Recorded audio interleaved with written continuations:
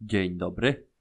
Mam małe opóźnienie z odcinkami, ale myślę, że w ten weekend nadrobię. Aktualnie widzicie sprzedaż z wtorku. Dzisiaj nagrywam jest piątek. Udało się wysłać 55 przesyłek, co wygenerowało 1421 zł przychodu.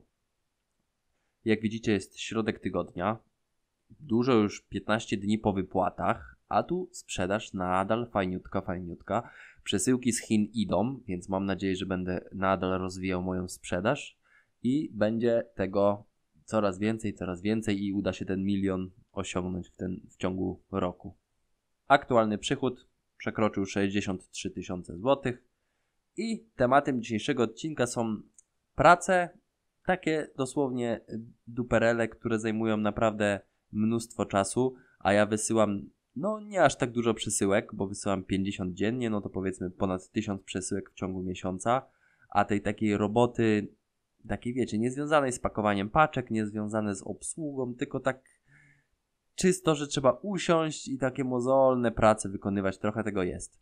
Na przykładzie widzicie teraz screena na samym środku. Towar zgodny z opisem polecam w 100%. Zgodność 5, obsługa kupującego 5 gwiazdek, koszt wysyłki 5 gwiazdek, opinia negatywna. No i co z tym zrobić? Jakość sprzedaży już mi spadła na da dany dzień, czyli jestem pozycjonowany danego dnia niżej, no i muszę się do kobiety dobijać.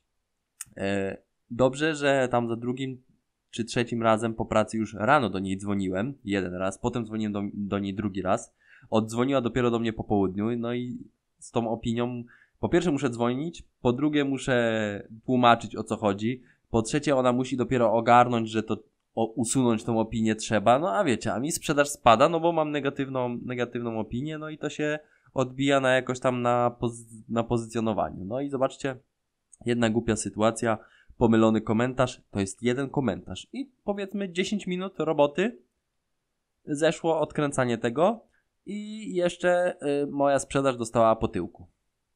Kolejny temat to niewykorzystane etykiety. Bardzo często jest tak, że ja wstaję rano, generuję etykiety. I się okazuje, że na przykład dana osoba zamówiła dany przedmiot na przykład za pobraniem dwa czy trzy razy, albo zapłaciła za dany przedmiot, jeden kupiła, potem drugi kupiła i wszędzie płaci za wysyłkę.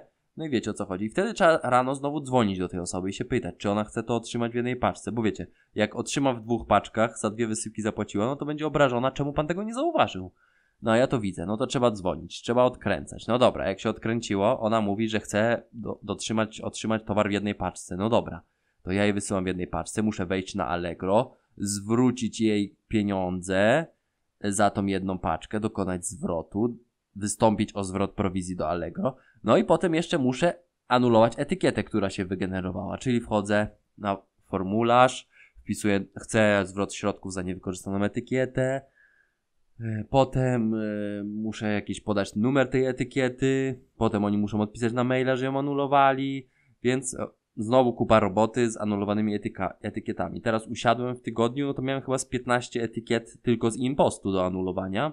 Nie wiem jak to jest z etykietami z poczty, możecie mi powiedzieć, bo też czasami mi zostaje, a nie wiem czy, czy po prostu, kurczę, chyba też muszę je jakoś anulować. Muszę się dowiedzieć. Zapiszę sobie tak jak już mówiłem, o zwrotach. Klienci często zwracają towar. Tutaj tak, tak sobie tylko ten slajdzik to taki, e, taka zajawka jest, że ktoś dokonuje zwrotu, towar musi wrócić, ja muszę sprawdzić, czy on nie był jakiś tam używany, wtedy muszę oddać pieniądze, wtedy muszę znowu wystąpić o zwrot prowizji i wiecie, i to się znowu kupa roboty. Jakich tych zwrotów jest kilka, muszę opisać paragon, e, wiecie, do księgowych, żeby anulowali ten paragon, tam też jest wypisywanie formularzu, no roboty jest po prostu masa ze zwrotami. Kolejny temat to anulowania sprzedaży Allegro. Teraz wiecie, jak coś kupicie i się rozmyślicie, możecie anulować. No i to znowu jest zwrot pieniędzy do klienta, zwrot prowizji. No tu jeszcze na szczęście nie, nie zdążam nabijać paragonu, więc chociaż paragonu nie muszę anulować.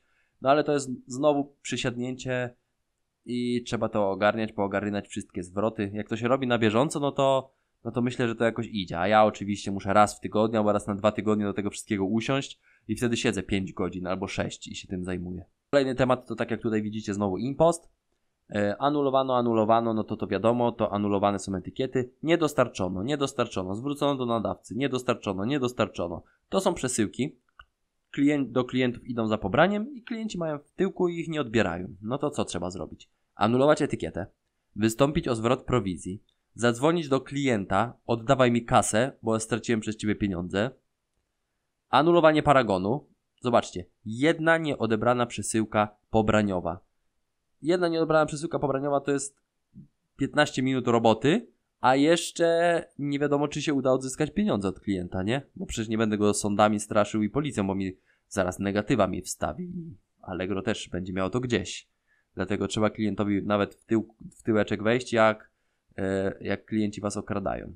Znaczy okradają. Narażają na straty, może nie okradają. No ale takie ryzyko, no trzeba je wbić w koszty i ja tak robię. Staram się jak najwięcej z takich pieniędzy odzyskać, no bo mówię, etykietę anulowuję, paragon anulowuję, odwrot prowizji występuje, więc powiedzmy tracę tylko na tej koszty wysyłki.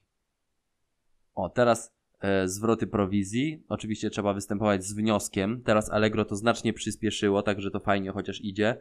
No ale tych zwrotów prowizji, no to trzeba, wiesz, wiecie, no na przykład mam 70 zamówień.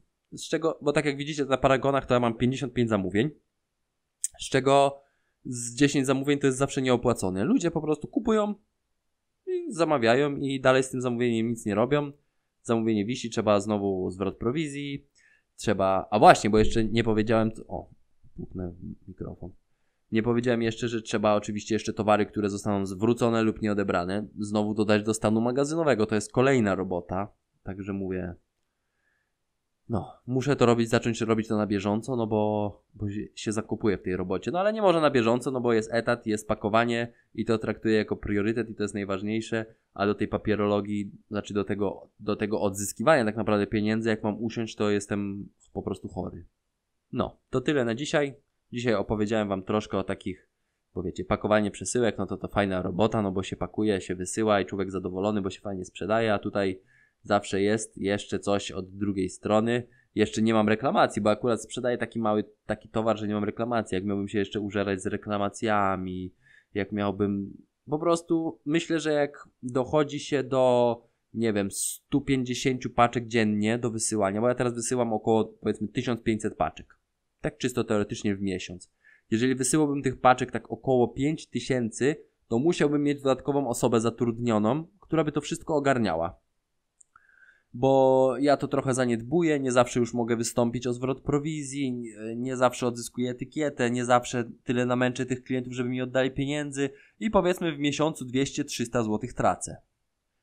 Jakbym miał, mówię, no myślę, że dochodzi do człowieka czasami takie coś kuźwa, jakby się ktoś przydał. No na razie to jest, nie wiem, 5 godzin w tygodniu, no to to jest na 20 godzin pracy, no to nikt inny mi jest niepotrzebny. Ogarniam to jeszcze sam.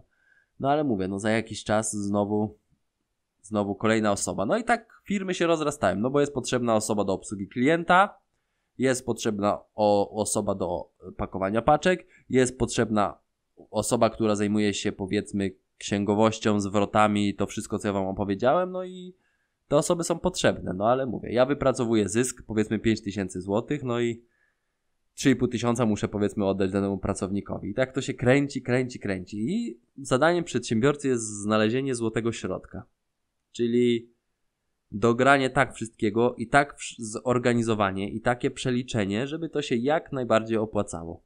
Żeby firma zaraz nie była jakaś dziesięcioosobowa, bo to też nie o to chodzi, tylko żeby jak najniższym kosztem pracy wyciągnąć jak najwięcej pieniędzy. I ja mam taką dewizę, bo ja nie chcę, żeby ta moja firma wysyłkowa się aż tak rozrosła, no ale to nie wiadomo. Mam nadzieję, że się kiedyś jako rozrośnie, że tu posadzę jedną ekipę do pakowania, nie wiem, z trzech sklepów internetowych, tam posadzę drugą ekipę, która będzie też ogarniała trzy sklepy internetowe, a ja będę to tylko chodził na tym jako gospodarz. Mam nadzieję, że się kiedyś tego doczekam i mam nadzieję, że wy w tej drodze e, będziecie razem ze mną i że stworzę wokół tego fajną społeczność i że nie tylko ja zarobię ten milion, ale wy ten, kto chce, ten, kto jest zmotywowany, ten, kto naprawdę, naprawdę będzie chciał, będzie sobie też zbuduje ten milion złotych i kiedyś e, no, 5 złotych za to chce, tak. I kiedyś otrzymam te 5 złotych.